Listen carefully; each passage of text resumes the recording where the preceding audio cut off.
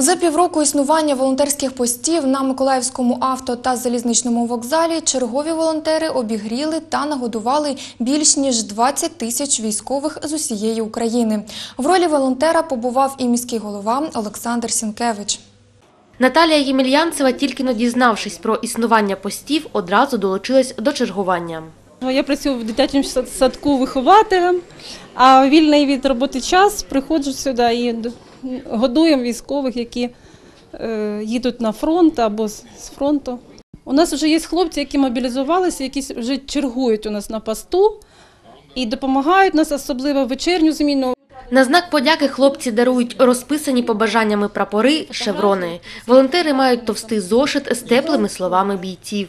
Сам факт, что вы есть и вы здесь, свидетельствует за то, что Украина победит. Люди бывают, встречаются разные, но то, что среди них есть те, кто готов пожертвовать свои силы, здоровье, время для кого-то, говорит о том, что этот народ непобедим.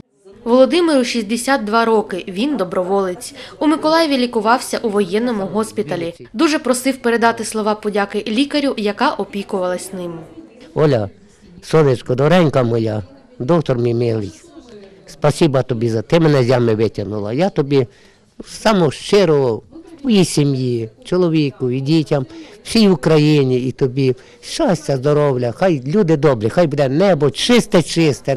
Побував у ролі волонтера і миколаївський міський голова Олександр Сінкевич. Готував військовим каву у фірмовому фартуху. Один кофе плюс. Сахаром, без сахара.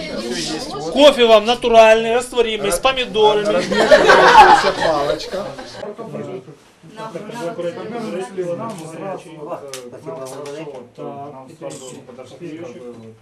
Олександр Сінкевич привіз на пости солодощі, сир, ковбасу і такий необхідний одноразовий посуд. Николаев – город волонтеров. Мне очень приятно здесь находиться. Я очень благодарен тем людям, которые здесь работают за их деятельность. И со своей стороны хочу высказать им глубокое уважение и, э, ну, скажем, пообещать им помощь всестороннюю со своей стороны. У невеличкій кімнатці на автовокзалі не вистачає місць для ліжок та санвузла. Для більш комфортного перебування на тривалий час бійців відправляють на аналогічний пост залізничного вокзалу.